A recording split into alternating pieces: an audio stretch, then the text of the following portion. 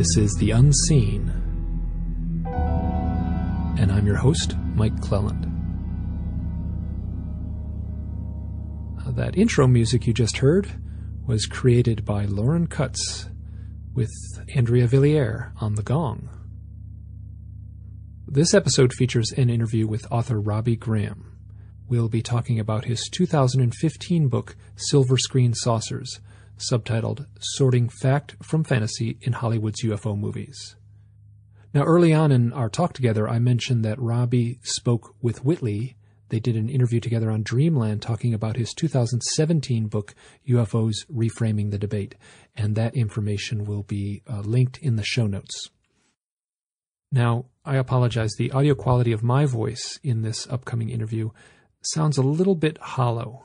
Um, I just got a new microphone and I hadn't quite figured out all the settings. So uh, the good news is that Robbie sounds great. I sound pretty good. You probably won't notice it. I certainly notice it. But um, uh, Robbie, who talks a lot more than I in the in the interview, he sounds great. Our talk was recorded in February of 2019. Please enjoy.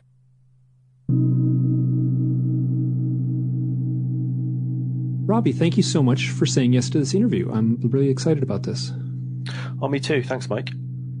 Now, I read your book back in 2015 when it came out, and and I have a sense that you had one idea when you began the project, and that things changed, and and I could reading the book, I could sort of sense there was a journey of sorts.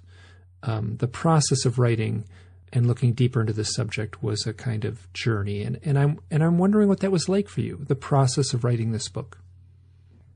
Uh, well, it was a long journey. The book is the product of around a decade of research and around four years of actual writing. Um, it really began as a series of articles that I wrote for Fortean Times magazine back in 2007, I think, looking at the history of Hollywood's engagement with the UFO topic. And this was a natural topic for me to explore because I'd been interested in UFOs since my childhood, and I'd read a good chunk of the essential uh, UFO literature by my late teens. And I'd say it was probably around that time that I began to study film, and uh, first at college, and then at uh, university, both at undergrad and postgraduate levels. And so eventually I decided that I should combine my interests in film and UFOs because really no one else, uh, as far as I was aware, was seriously writing about the interplay between UFOs and Hollywood at that time. And I felt that I had some real expertise to bring to the table. So anyway, in uh, about 2011, I started a blog called Silver Screen Saucers, and that became fairly popular quite quickly. And over the course of about four years, it received around sort of 2 million visits. And all the while, I was planning on producing a book. And eventually, in, uh, as you say, 2015, Silver Screen Saucers was published. But it was a long road. And honestly, by the time it was published, I was suffering from UFO fatigue, I think you could say. And I, I, took it all very, very seriously, too seriously. Um, and I think, you, you know, a lot of people suffer from that. But eventually, I was able to take a big step back from it all and approach it from a slightly more detached uh, and healthier position. You know, it's a healthier mindset to have, I think, um, especially when it comes to a subject, a subject like um, UFOs, where of course very little can be stated. Sure, let's. I just want a distinction here, and you make the distinction in the book. But uh, so there's a distinction between UFO movies and space opera. And space opera, in my opinion, would be something like Star Trek or Star Wars, and so, what's your definition of a UFO movie?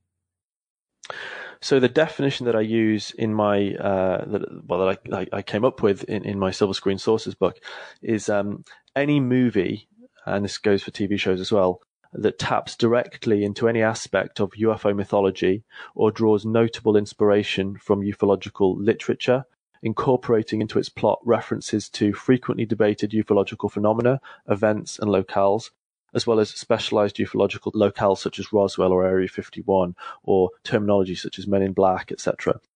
Uh, so a UFO movie need not be about UFOs per se, nor feature traditional ufological iconography like flying saucers or little grey aliens, but it will often devote a respectable amount of its running time to the dramatization of imagined human alien interactions, usually, though not always, in the context of a first contact scenario in which the aliens assume the role of visitor or invader.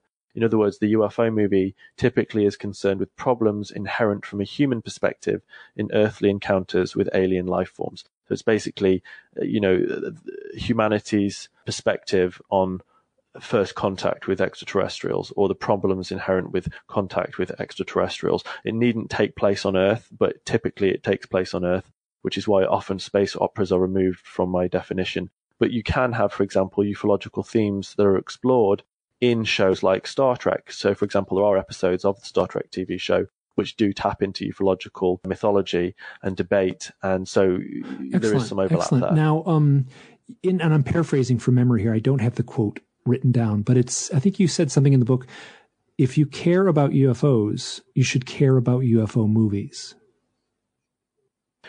Yeah, um, you know, I, I, I can't remember the exact quote either, but it's something along the lines. You know, if you if you care about UFOs, you should care a great deal about UFO movies because they are the dominant uh, cultural force shaping our perceptions of the UFO phenomenon, for better or for worse. And I really emphasize the huge uh, psychological, psychic, cultural impact of entertainment media, but specifically cinema, in shaping our perceptions, our understanding, or rather our misunderstanding of the world around us, and especially so when it comes to a phenomenon. Like I like agree. UFOs. I agree. Yeah, that's a perfect way to because it is. I mean, we are how to say it. You know, I am. You know, sometimes I say, you know, like I wonder how we used to dream before movies. Does that make sense? Do you mm-hmm. know the, what yeah. I'm saying? Because my dreams are very mm-hmm. cinematic, and in, in a culture without movies, which we don't have to turn the clock back very far, you know, 110 years or something. You know, how did people dream? And so I, I agree that movies have influenced the way our internal psyche frames reality. That's right. I think so. Um, movies are so powerful because they narrativize and contextualize our very complex, non-narrative world, and they help us make sense of the events and debates and processes that constitute a non-narrative world. Life rarely makes sense, but movies usually do, and we take comfort in that. And therein lies the problem because, of course, movies aren't real life. They are reflections of it, they're snapshots of it, they're simulations of it, which are skewed and distorted through the ideological framework of the people who've made them. And that's especially problematic when it comes to, as I said, a topic like UFOs, which isn't officially acknowledged as being something that's legitimate or even real by by mainstream culture. Um, that's starting to change now, but historically, you know, UFOs have been considered the stuff of of, uh, of fantasy. You know, I always talk about the power of cinema in terms of um, if I say to you, um, Titanic, what are the images that pop into your head, you know, in terms of people, faces? And most people, when I say that, uh, will will very quickly talk about Leonardo DiCaprio and Kate Winslet. Even though there is an abundance of historical, factual literature and photography and documentation on the actual Titanic itself and the tragedy itself, um, even though it's written into historical record, the cinematic simulation of that event, James Cameron's movie, has replaced the actual historical event in the popular consciousness. Such is the power of cinema. And um, so, if a movie can replace a historical event in the popular consciousness, you know, when we're talking about an actual event that no one disputes happened, then it's especially problematic when you're talking about movies which are tapping into historical ufological discourse and debate where we're talking about a phenomenon which isn't officially recognized, but which is widely experienced, which is real for the people who experience it, but which isn't part of our consensus reality. And so when Hollywood creatives get hold of that subject and they Hollywoodize it, it blurs the boundaries very seriously between fact and fantasy on a subject which is already struggling to gain a foothold in, in consensus reality. And so I thought it's very important to try to unravel all of the processes which are involved in um, blurring those lines between fact and fantasy, looking at the cinematic medium itself, dissecting it, and then looking at how Hollywood has engaged over the years with real documented UFO events and how it's incorporated U- UFO fact, shall we say, into Hollywood fiction. And how those products then have been received by audiences, most of whom are not familiar or are not well versed in UFO literature. And as I say, you know, I use this example quite frequently. The thing I'd say that probably triggered me to actually write this book was a conversation I had with a friend of mine years ago. We were having a cup of coffee and, um, you know, my friend was not interested in UFOs. She had no ufological knowledge of which to speak. But I said to her, um, have you heard of Men in Black? And I was referring to the historical Men in Black phenomenon, which goes back to the late 1940s, where very well documented in multiple books and articles. And at one point, it was actually formally investigated by the FBI. This is a real phenomenon of uh, black clad mystery men visiting and intimidating UFO witnesses. And it goes back decades, as I say. So it's a real phenomenon, whatever it represents. And I asked her, have you, have you heard of Men in Black? She replied instantly, Of course, everyone's seen Men in Black. So the entirety of the actual Men in Black phenomenon as recorded uh, over the years has been replaced by a Will Smith movie. And that would be true for most people. And that really hit me. And I thought, wow, that's a powerful thing. And so I, um, I tried to get yeah, to grips so, with it. so there's a few things going on here. So, I mean, you address a set of ideas in the book on how UFO movies get made or how they get influenced. And one thought is that the scriptwriters you know, simply have referenced UFO books. You know, they've simply, in essence, mined the available literature and used it as part of their creative process to get an idea onto the big screen. Um, like I say, you know, a great deal of Hollywood UFO movie content has been informed directly by fact based ufological literature, events, and debates. In other words, Hollywood engages with this UFO lore, this rich subculture, in a parasitic fashion. And you have these industry creatives who aren't necessarily UFO buffs, but who have a passing interest in the subject and they recognize its dramatic potential. And they latch onto and they suck dry the rich veins of this, you know, 70 year old subculture. Now, this perspective does contrast with the popular assumption that the UFO subculture feeds on and thrives as a result of images projected by um, the American entertainment industry. Although this assumption is, you know, well founded in certain cases. But in, in my book, I encourage the reader to ask how has so much dense ufological discourse, by its very nature fringe and subcultural, so successfully burrowed its way into Hollywood's popular narratives. And you know, many people in the UFO research community have over the years pointed to a Hollywood UFO conspiracy, uh, which has been designed to acclimate us to an alien reality or to, to subtly um, disinform us, I suppose, along the way.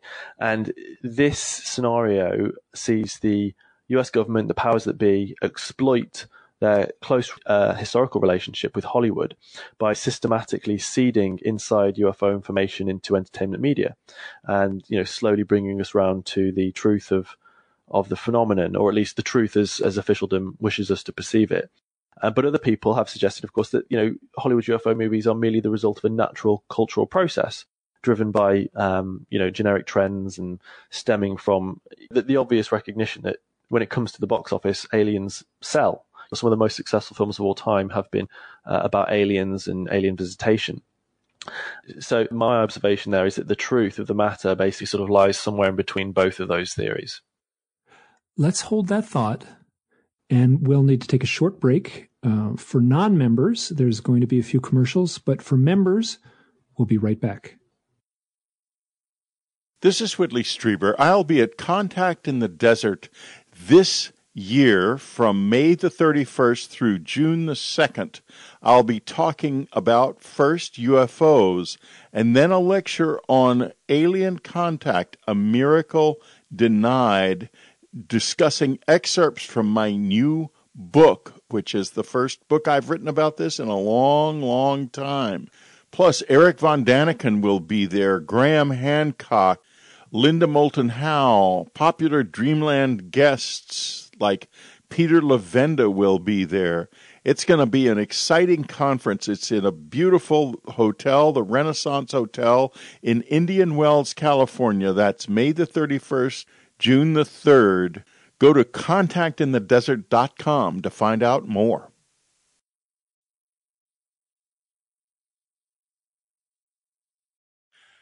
And now for my new thing.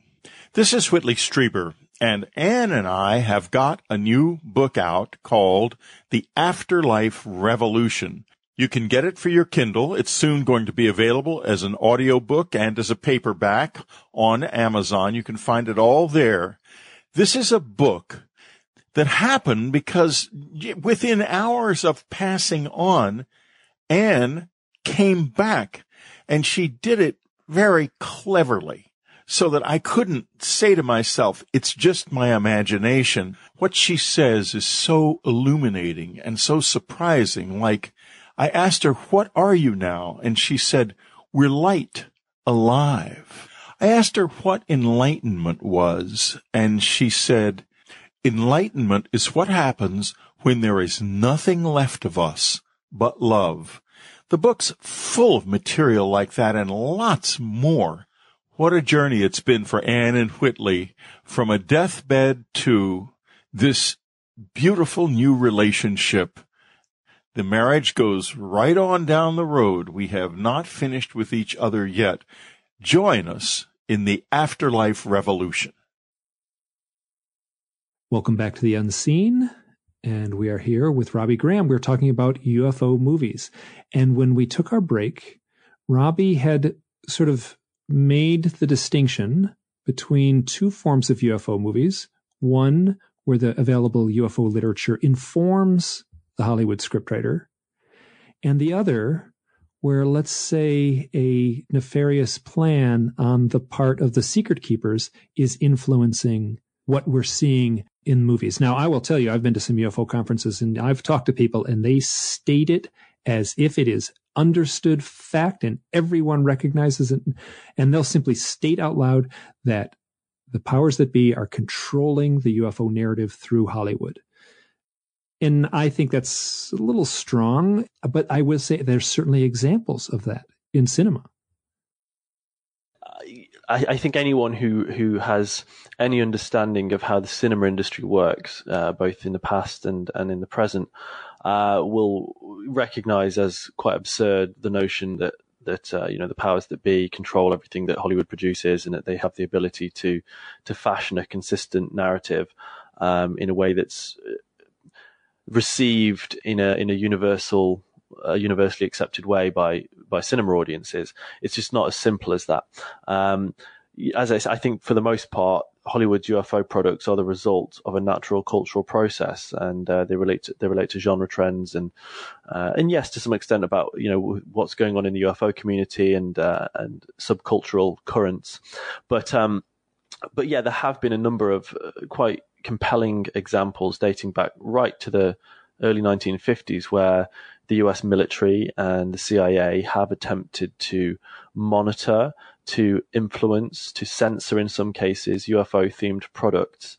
And those kinds of actions have continued over the decades, although as time has gone on, it's become harder to categorically prove some of those instances. But, you know, certainly right from the 1950s through to uh, the 1990s, there are a number of very clear cut cases of um, censorship uh, where the Pentagon, the US Pentagon in particular, has uh, been very concerned about the content of UFO themed products, both factual and fictional, and has attempted to um, to alter content, sometimes quite successfully.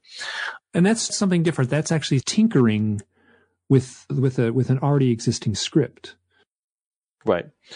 And then, so yeah, so then you have the the idea that, that Hollywood scripts are generated by the secret keepers, and there's very little to suggest. Well, okay, so there are a couple of productions that you can point to from the 1970s and 1980s where, say, you know, the U.S. intelligence community has has its fingerprints on a couple of projects which, you know, right from the early development stages. And those would be, for example, Robert Emenegger's um, UFOs Past, Present and Future documentary from 1974 and UFO Cover Up Live, which is a live TV special from 1988. Both of those had uh, the fingerprints of US Air Force intelligence and CIA on them as well. Um, but it, it's, it's really tricky to, to make a clear cut fake case for, um, for content being created uh, by the national security apparatus when it comes to UFOs.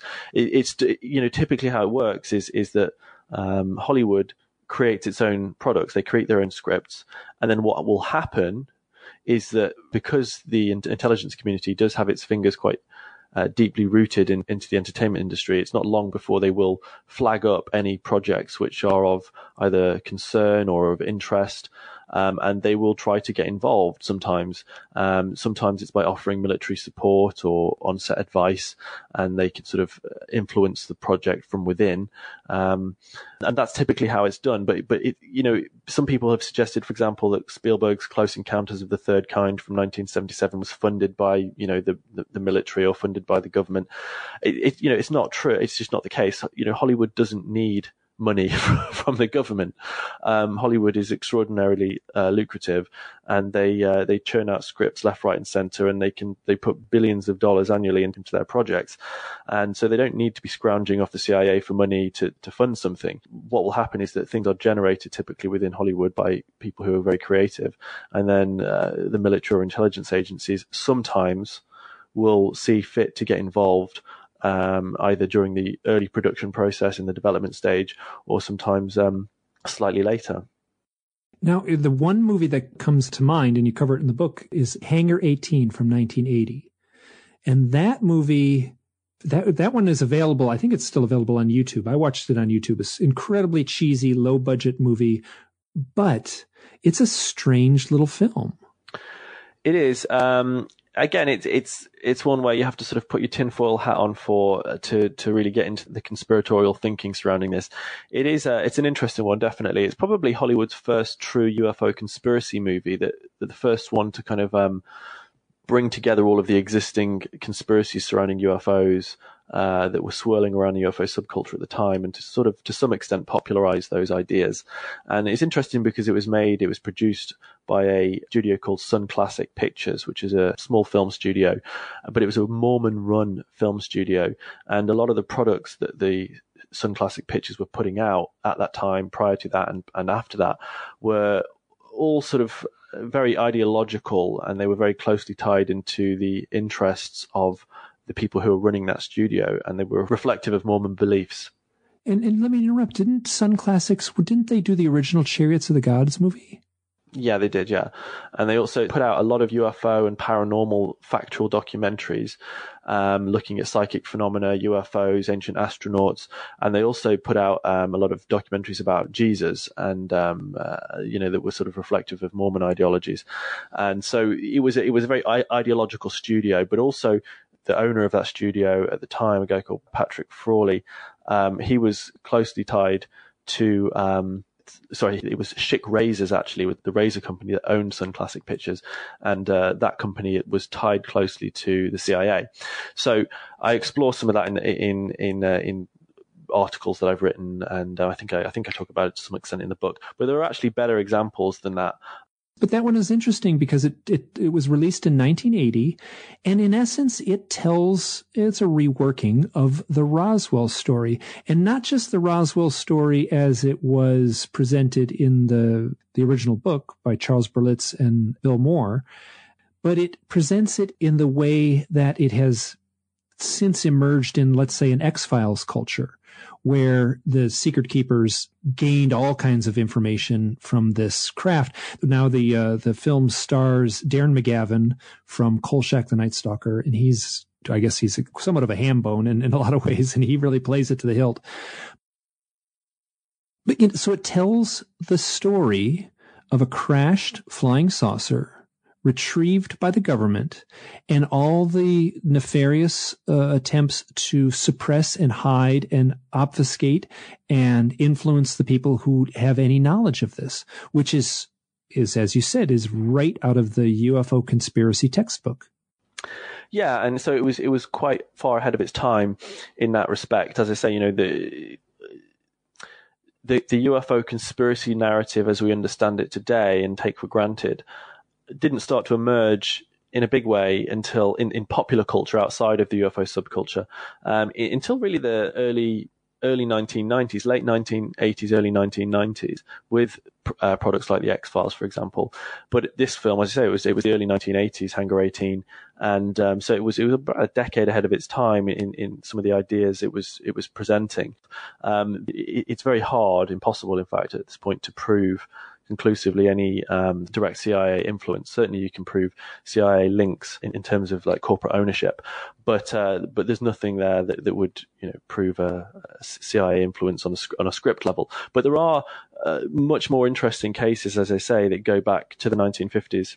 Well, here, let's take a step back because I want to just explore this a little bit more. And actually, I do want to play an audio clip, which I'll play, which is wonderful, of Darren McGavin talking about the, you know, they've decoded the document on board the craft. And I'll play that after our second break.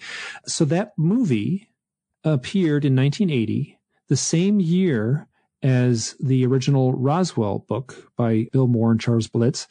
Now, taking a half step back and kind of looking at the big timeline, you get the sense that someone basically said, Oh crap, we got to deflate this book. Or not deflate it. Let's put a better way to put it. We've got to paint the entire subject with the corniness of a ridiculous science fiction movie, if that makes sense. So they were, in essence, deflating it by making a cheesy, low budget feature film that was wonderful entertainment, but at the same time, it was pretty lowbrow. Yeah, yeah. I, I mean, again, it, it, people have put the idea out there that you can discredit the entire UFO subject simply through through through the through the cinematic medium. You know, the, the idea that Hollywood itself is associated with forms of of, uh, of of popular fantasy, and so therefore, you know, whatever you depict through that lens is somehow tarnished eh, as being a form of fantasy. So, so you know, the idea is the more movies you make about UFOs, the less people believe the UFOs are part of our uh, our ontological sort of reality, and, and they associate them more with forms of creative fiction. So, so there's that theory has been put forward. But as I say, you know, Hangar 18 is a very, very interesting film, and I'd recommend it to anyone who's seriously interested in the UFO subject. And uh, my articles uh, about it are widely available online, and, uh, and I think I write about it to some extent in my book as well. It's covered it thoroughly in the book, and and I'll play a little clip here shortly. But in I think it was right around that same time. I think it was like 1982 or so. Linda Moulton Howe visited an Air Force base. Yeah, I think it was 83. 83 okay and she met with richard doty who's a very mysterious character in this whole in this whole business and was handed a document that kind of laid out the uh, history of humanity as mm-hmm. as if it was all a product of alien intervention. That's right. So there's a scene in the movie where Darren McGavin is holding this document in his hand and they've decoded the hieroglyphics on the ship. And it sounds like the document that was handed to Linda Moulton Howe. Yeah, I'll play the clip right now and then we'll come back in a second. Okay. Kelso has deciphered the aliens' language. This is a translation of a document found aboard the uh, spacecraft. Now, the translation is very rough and is incomplete, but if what we can read is true, and there's no reason to doubt that it isn't, then all of the previous information that we have had about the origin of mankind and the human race is absolutely false. What are you talking about here? This is a report of a previous visit of the spacemen to Earth. This report speaks of the capture, the training, and the use of certain animals as slaves, both male and female. The slaves worshiped them as gods. Then what they referred to as animals were pre-humans? Yes.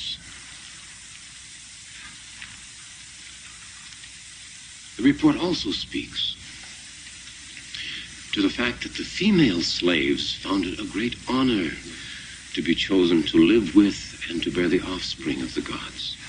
Good Lord. You see, it's no coincidence that the spacemen are almost identical to us. It is not, Sarah, a case of two species developing, evolving independently of each other. Those ancient spacemen altered forever our evolution. They are the missing link. Do you know what you're saying? Yes. We, mankind, the human race, are their children.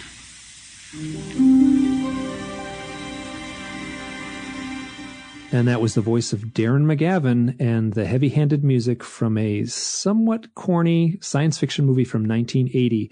And that little bit, that little bit about the history of humanity is in a way at the core of the modern UFO mythology in a way that it wasn't back in 1980. So that was very predictive in a way, that little bit of uh, heavy handed drama, that bit of script writing there. Yeah, that's right. And um, you know, you mentioned that the uh, documents were, were shown to Linda Moulton Howe in 1983 uh, by Richard Doty at uh, Kirtland Air Force Base in uh, in New Mexico, and this was during the time where the Roswell narrative was really starting to emerge in the UFO subculture uh, as planted by well, not the Roswell narrative so much as as this this broader narrative uh, relating to the idea that the U.S. government has um, in its possession potentially numerous extraterrestrial vehicles and bodies, and that it has, you know, a, a, fairly good understanding of how this advanced technology works, that it has reverse engineered some of this technology, and that it potentially poses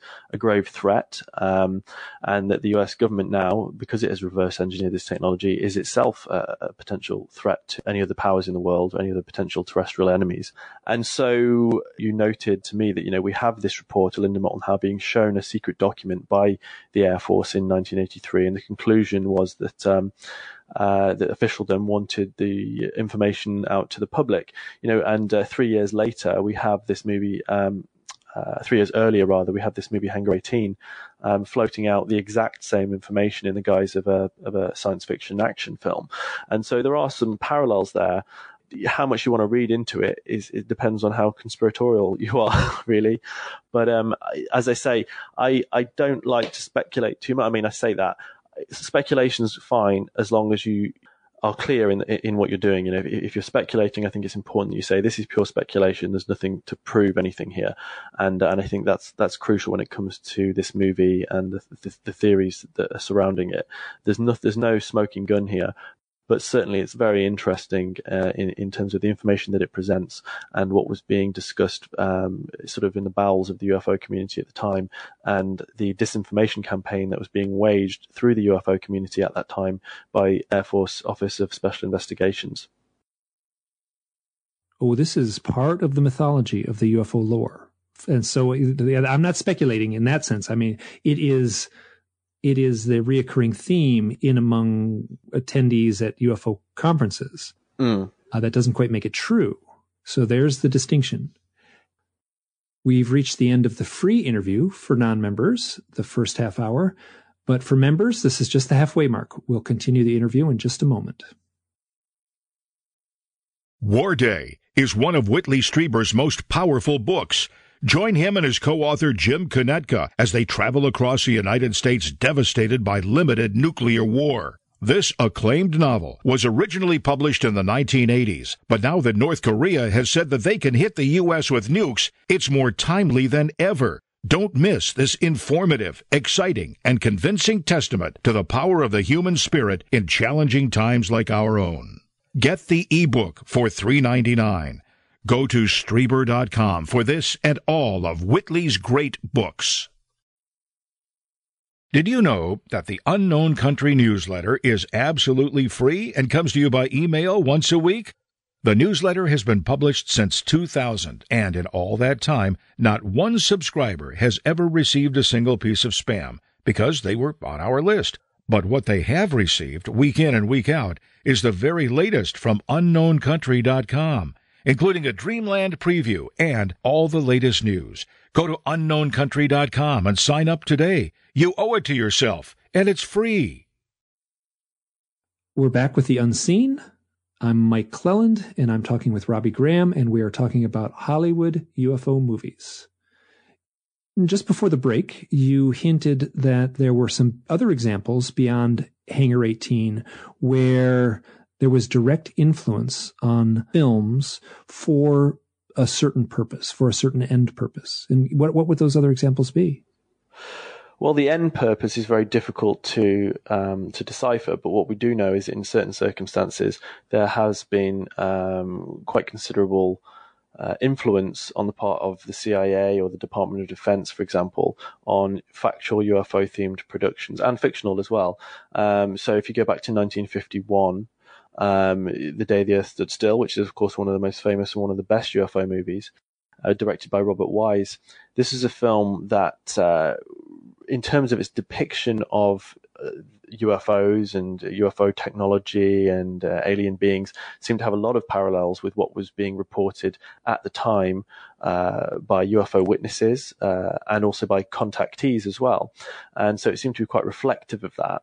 Now, of course, you could just say, well, they you know, the, the, the screenwriters, uh, Edmund North, for example, who wrote the, the screenplay, was just reading UFO literature. There wasn't actually a lot of UFO literature to read at that point. Don't forget, you know, this was 1951. There weren't many books that had been written about UFOs at that point, not decent ones anyway. But what we do know is that the, the screenwriter of that, uh, of that movie, Ed, Edmund H. North, was actually a professional propagandist during World War II. He was part of the, the, documentary corps working as a propagandist for the US military. Um, the producer of the film, Julian Blaustein, was employed in the same capacity as a propagandist during the Second World War also. And the director, Robert Wise, actually stated many years after the film had been released, uh, he told the, the film director, Paul Davids, and Paul Davids is the writer and producer of the of the movie Roswell, which came out in 1994, starring Kyle MacLachlan. Anyway, um, Davids became good friends with Robert Wise in his later years, and uh, was having lunch with him one time. And uh, Robert Wise related to Davids that uh, during the production of The Day the Earth Stood Still, he received uh, many on-set visits from scientists and engineers from Washington um, who would sort of drop him tidbits of information. You know, why don't you put this in there? Why don't you put that in there? Um, just sort of tweaking what was on screen. And so that was, uh, you know, that's a, that's a very interesting, um, testimony from, you know, uh, an Oscar winning director, Robert Wise. He, he also directed The Sound of Music and West Side Story and The Haunting. Uh, great, great craftsman, one of the greatest craftsmen in Hollywood history. And, um, I agree. I agree. I'm a huge Robert Wise fan, and one of my favorite movies of all times is uh, The Andromeda Strain. And The Andromeda Strain, of course, as well. And so, um, so yeah, Robert Wise told Davids that that uh, they received numerous on-set visits from scientists and engineers from Washington who were very interested in what they were doing. So that that's indicative again for in the early years of uh, of people within positions of authority uh, and influence keeping a close eye on what Hollywood was doing in terms of its representations of this um, sensitive subject. Uh, we can talk about examples, the censorship examples predating that as well. The first movie that came out in Hollywood about UFOs was called The Flying Saucer from 1950, and that film was monitored from the get-go by the Air Force because they were concerned that the, uh, the about claims that were being made by the director, a guy called um, Mikel Conrad, who claimed that he had um, real footage of flying saucer that he was going to use in his film. This panicked the Air Force. They kept tabs on the film. They visit they they sent officers to the um, to the premiere of the movie. They grilled the the film director afterwards. Um, so so yeah, and, and there's just numerous. I, I, mean, I document numerous examples throughout the 50s and 60s of where the Air Force, in particular, have been very interested and concerned about the content of UFO themed products in Hollywood, and they've attempted to censor those products, sometimes successfully. You know, what's very interesting is that the day the Earth stood still was an A picture. Mm-hmm. Yeah, it was. You know, it, it holds up extremely well. And also, um, the thing or the thing from another world, the Howard Hawks production was also what I would consider, you know, was kind of a B movie in some ways, but it was an A picture given the subject matter. Yeah, it was a universal picture. Yeah. Yeah. And then I guess it would be Earth versus Flying Saucers. Is that the one that was, that was the one that had, um, Donald Keyhoe's name in the credits, correct? That's right, yeah, Donald Keyhoe. So it was a 1956 movie called uh, Earth versus the Flying Saucers, and it was loosely, very, very loosely based on, uh, were influenced by, inspired by uh, Keyhoe's uh, book, I think it's Flying Saucers from Another World. But Keyhoe fought to have his name removed from the credits on that. The producers had approached him saying that they wanted to make a, a documentary, a sort of respectful documentary about the UFO subject, inspired by his book. And um, he sort of reluctantly gave them permission to do that. And they went ahead, and they what they made was not, of course, uh, you know, a respectful documentary, but a trashy you know flying saucer movie with rubbery aliens and, and flying saucers in it. And so Donald Keyhoe's name was sort of tarnished by association with that, and he fought to have his name removed from the credits, but to no avail. And that was so that that, that movie was uh, you know, as silly as it sounds, I mean, for 1956, it was quite a it was quite a competent film.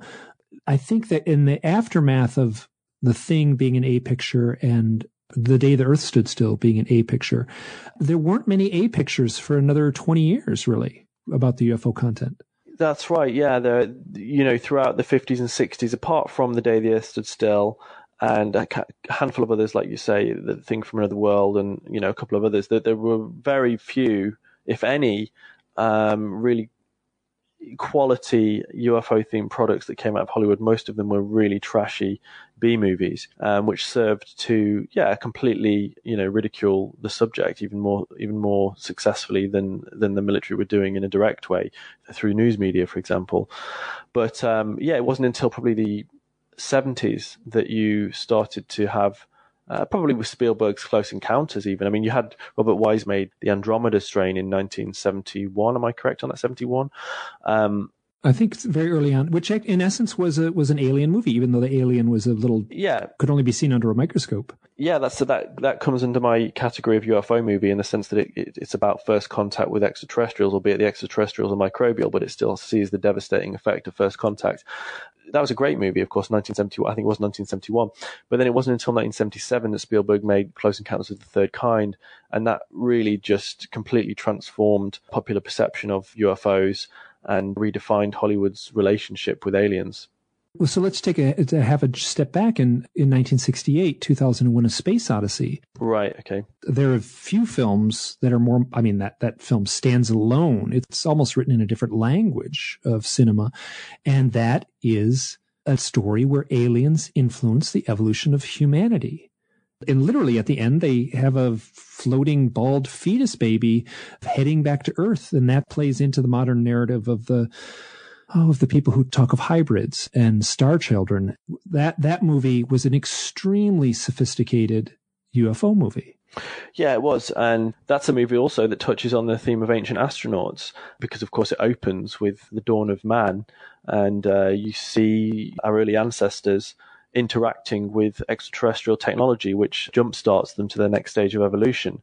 So that's very much about the ancient astronaut theory in that sense. And uh, of course, you know, Arthur C. Clarke and Stanley Kubrick famously had their own UFO sighting during the production, prior to the production, rather during the early stages, and um, they obviously the, what they saw was eventually explained as being sort of something prosaic, uh, I believe a satellite but um, they they were certainly very seriously contemplating the idea that um, that we may soon make actual contact with extraterrestrials. In fact, Stanley Kubrick was so concerned um, about it that he felt that we might actually make contact with extraterrestrials before the release of his movie in 1968. And uh, you know, he thought that uh, well, you know, if we make contact in 1968, you know, then the movie's title is redundant, 2001, because, you know, it's supposed to make contact in 2001 or whatever. But so he was worried about that you know, obviously Stanley Kubrick's a genius and working on so many different levels. And there's really very little that's been made like 2001 before or since. You know, something so epic and so complex and so deeply and unashamedly philosophical. Uh, you know, Hollywood typically shies away from productions of that nature, uh, unfortunately. Yeah, I agree that yeah, yeah. And I just watched it recently, and I was I've I don't know how many times I've seen that movie, and it just every time I see it, it simply slays me. okay, so here we have a, some aspects of the UFO movie. We have the the idea that the scriptwriters are simply mining or being parasitic with the UFO literature picking little tidbits to drop into their script. That makes perfect sense. I know the X Files supposedly had a, a, library that the scriptwriters could use, and it was just bookshelves filled with uh, UFO books. And they would leaf through those to get ideas for the next script.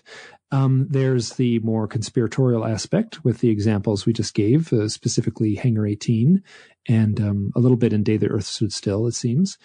Now, there's also the stranger one, where it seems that something is taking place on a deeper level, and the scriptwriters are, I guess, a way they, they're tapping into sort of a creative netherworld, and these elusive ideas are somehow absorbed into their consciousness from who knows where, and these movies from and I'll, and the the example I want to give is The Stranger Within, which is a made for TV movie scripted by Richard Matheson. I think it was 1974 And anyone of a certain age will remember the ABC movie of the week.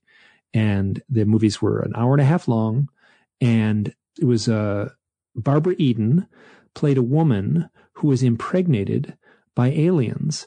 And the script and the movie is so dry and adult and unnerving in a way that that is different than the sort of cheesy movies from the 1950s, let's say. And she's wonderful in the movie. Uh, Barbara Eden, the she's I Dream of Jeannie, and gives a very haunting performance. But it ties into so many modern aspects of the UFO literature. Mm. And it was based on a short story called Trespass, which I think was from 1954. Yeah. When Richard Matheson was cranking out uh, short stories for pulp fiction magazines. And I've gone back and read that short story. Now, this is so this movie sort of predicted so many elements of the modern abduction lore and I don't think that um, Richard Matheson was an abductee or anything like that, but I think he was certainly tapping into something. And so that I was left astonished by that movie. I've, watched it a few times recently. Yeah, it, it is a, a really fascinating film. And you know, in my book, I actually um, talked to you about that movie because, of course, you you you wrote extensively on it before I'd even engaged with it, and I thought it was fascinating what you said about it in terms of um, in terms of what may have occurred there with how Matheson uh, seemed to tap into these ideas. And, uh, you know, you, I think you said uh, that, uh, hold on, I can get actually a quote here. You, you said, yeah, he said, I, I'm convinced that there is a very real power in the creative process. And when abandoning or disciplining oneself to this kind of artistic inspiration, something mysterious can unfold. The artist can somehow tap into deeper truths the workaday routine of sitting in front of a typewriter or canvas or drawing board can be seen as a ritual act, very much like the forgotten alchemist who sits before his candle. Matheson may have been on fire during those early years writing for pulp magazines, and something weirdly predictive seems to have been manifested in his tight little story. And, uh, you know, then I, I talk about, um, of course, Jeff Kripal, who has talked extensively about this this process to anticipate and manifest realities, and um, Jeff Kripal, of course, being the author of Mutants and Mystics, and in that book, um, Kripal says that there is something fundamentally mystical about writing. Words, stories, and symbols can become real, and of course, Kripal means that literally, not figuratively. It's through this creative process that the imagination can become, as he says, empowered to make contact with what appears to be a real spiritual world, or at the very least, an entirely different order of mind. And, uh, you know, uh, Kripal suggests that, the abductions and other impossible, so-called impossible phenomena are more usefully examined within the context of what he refers to as the imaginal, a superpowered version of the human imagination. And this is, uh, you know, rather than looking at things as absolute ontological truths to be proved or disproved by skeptics or believers. And, um, you know, of course, millions of people throughout the world um, have experiences that current science tells us are impossible, but which are nonetheless vividly real for the people who experience them. And of course, you know, that demands some serious engagement. And of course, um, the imaginal provides a, a solid framework through which to engage with that idea that's what cinema is, especially now that it's 2019 and we were like, I mean, the special effects from 50 years ago were pretty poor and the special effects now are amazing. So I think that we're almost entering a new age of of what we can accomplish. We obviously have. We've entered a new age where what can be accomplished on screen is entirely believable visually. Where you know, there's it's no longer little strings supporting flying saucers. It's much much more sophisticated than that. And as I said before, like there's a there's a there's a sort of dream logic to cinema. Mm-hmm, mm-hmm that it, that's tapping into us at this very deep level.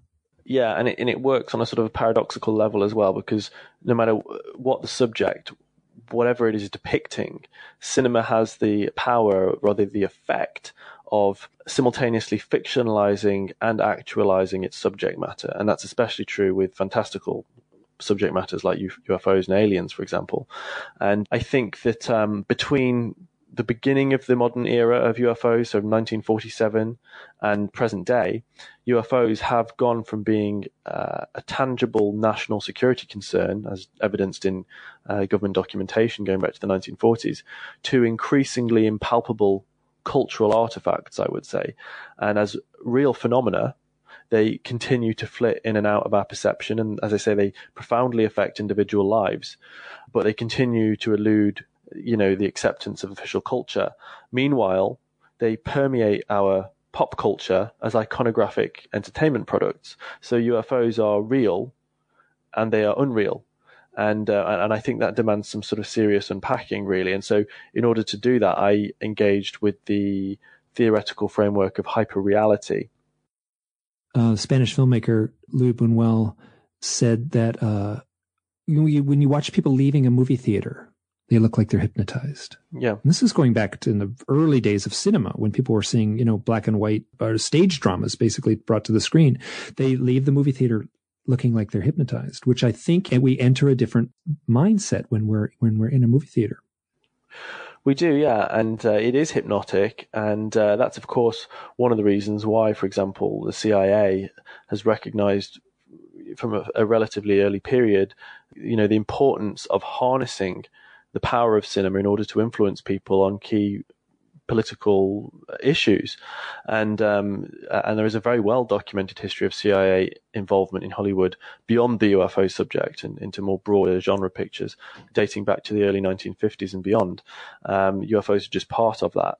But um, but yeah, in terms of trying to understand the effect of cinema on us, I, I look at this idea of hyperreality, um, specifically as conceptualized by the French philosopher Jean Baudrillard and uh, the, the most popular definition of hyperreality, which is quite an abstract concept, is an inability of consciousness to distinguish reality from a simulation of reality. In other words, so to distinguish uh, a real historical event from, for example, a cinematic representation of that event, especially, as I say, in technologically advanced postmodern societies. So hyperreality is a condition in which what is real and what is fiction are seamlessly blended together so that there is no longer any clear distinction between where one ends and the other begins. And I think that certainly the UFO phenomenon has become uh, hyper real in that sense, and and the, the, the process of hyper reality has been um, accelerated uh, and crystallized through uh, the process of Hollywoodization. You know, Hollywood's engagement with this with this subculture. So something that is hyper real then is simultaneously real and unreal. It's fact and fantasy at the same time. Uh, so the key words in the definition I just used are technologically advanced societies. Uh, so technologies of reproduction, mechanical and digital, have ushered in this age of the hyperreal, where simulations of reality, i.e., movies and other products, uh, they threaten to dissolve the boundaries between fact and fantasy, between true and false, between real and imaginary. And so I contend that cinematic simulations of ufological history, UFO movies and TV shows, have all but consumed the history itself through the process of replication, just as humans were consumed and replicated as pod people in movies like Invasion of the Body Snatchers and John Carpenter's The Thing. So the, the, the, there is now a, a facsimile, there's a, a simulation of the original that is free to morph into whatever it wants and is no longer necessarily representative of uh, of the actual object that it was representing. If that makes if that makes any sense at all. I agree. Yeah, and there's a myth being created. We're witnessing the birth of a myth, you know, which has happened in the last fifty years. Let's say we are. Yeah, absolutely. As as Carl yeah, as Carl Jung noted, uh, we are you know we are witnessing um, a myth in the making with with the UFO subject, and uh, and I've said many times, um, especially in the context of my um, last book, um, uh, say my book, it's a, a joint effort um, that uh, there were 14, 15 collaborators on that UFOs reframing the debate. You know, uh, we, we talk in that about the idea of, of ufology being a religion. And, uh, and, and I would certainly contend that ufology is a religion, a new age religion and uh, it has very strong religious components. And um, it's unfortunate because it's a religion that is sprung up from something that does seem to be ontologically real and potentially profoundly important. But because there is so little that we can say conclusively about the phenomenon, uh, in the absence of evidence, we we we need belief, and so it invites belief, and it invites all sorts of beliefs, which have sort of um, broken off into quasi religions um, o- over the years.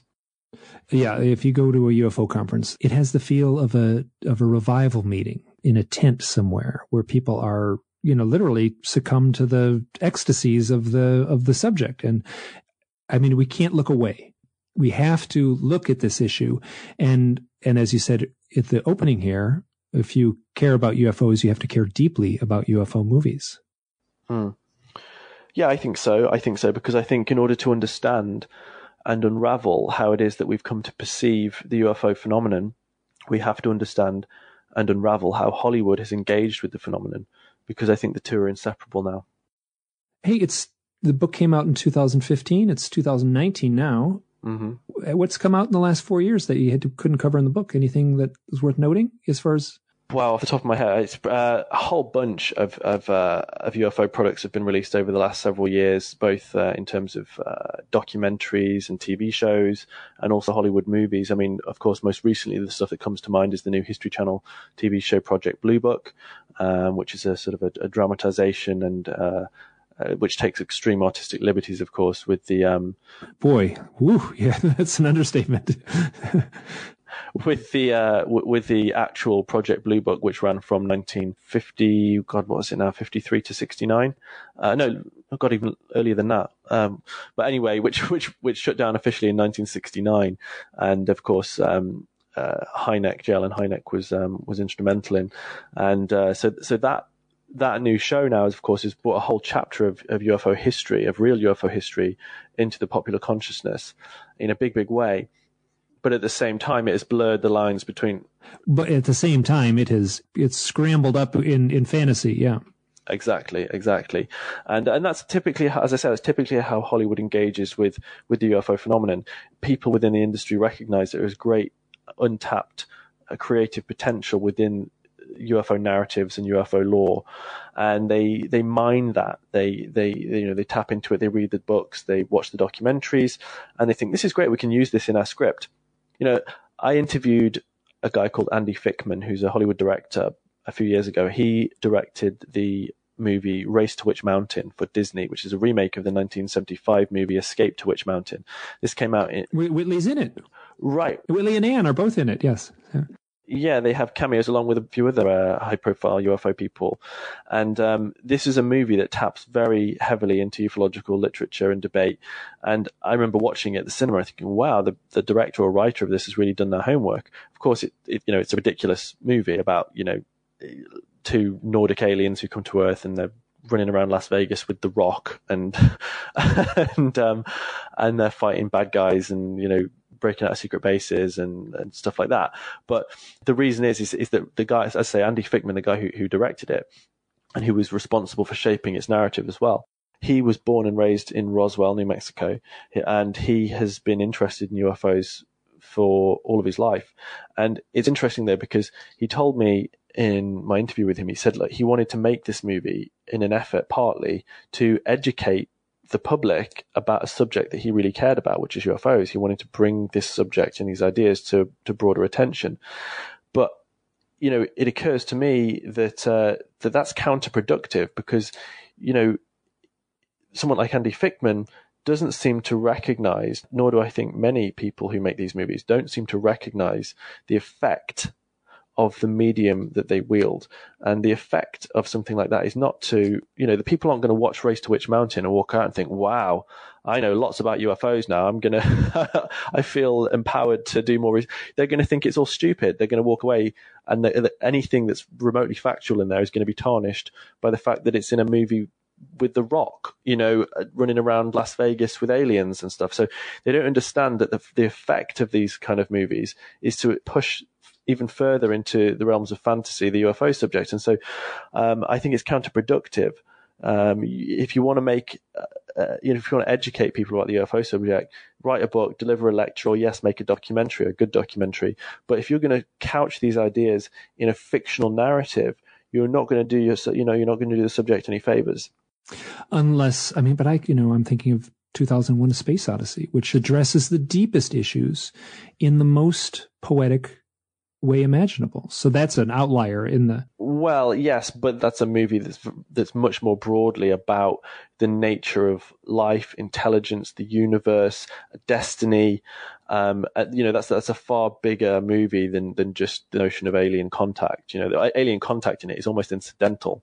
And so, so, but, but in terms of if, if you're trying to sort of convey the importance of ufological history, for example, through a fictional movie, then it's not going to work.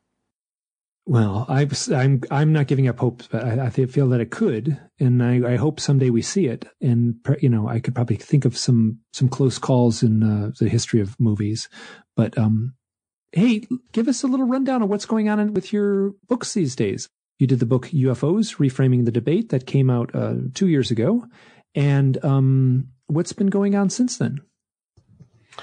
Uh, since then, I've been running a publishing imprint called August Night Books, which is an imprint of White Crow books, and we are specializing in the publication of UFO literature, of uh, paranormal literature, Fortean, and general anomalistics. And so, yeah, we've we've put out a few books over the past few months, and we'll be having more books published throughout this year and into the foreseeable future.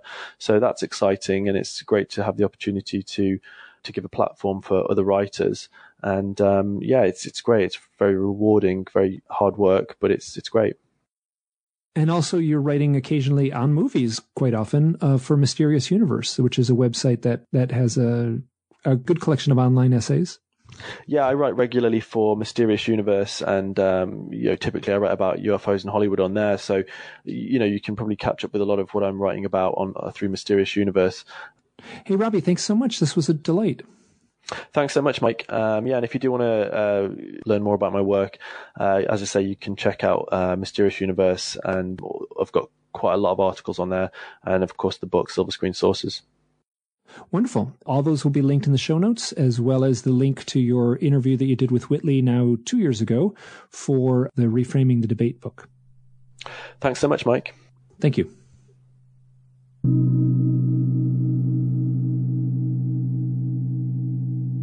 This is Mike chiming in at the end. Uh, it was a delight to talk to Robbie. Now, I have actually met Robbie and we've spent a little time in England together. And I was the passenger in his car on my very first occasion ever to be driven around in England. Uh, for those who have never done this, for those Americans who have never done this, driving on the wrong side of the road is quite a remarkable experience the very first time you do it. I got used to it a little bit by the end, but it was pretty hair raising for me. I've also met his dog, Monty. Uh, that may not mean much to anyone unless they follow him on Facebook. And uh, Monty, his very cute little terrier, has achieved a, uh, a sort of infamy on that social network. Once again, this is Mike Clelland for The Unseen. And if you've made it this far, thank you so much. Bye now. So much. Bye now. So much. Bye now. So much. Bye now. So much. Bye now. So much. Bye now. So much. Bye now.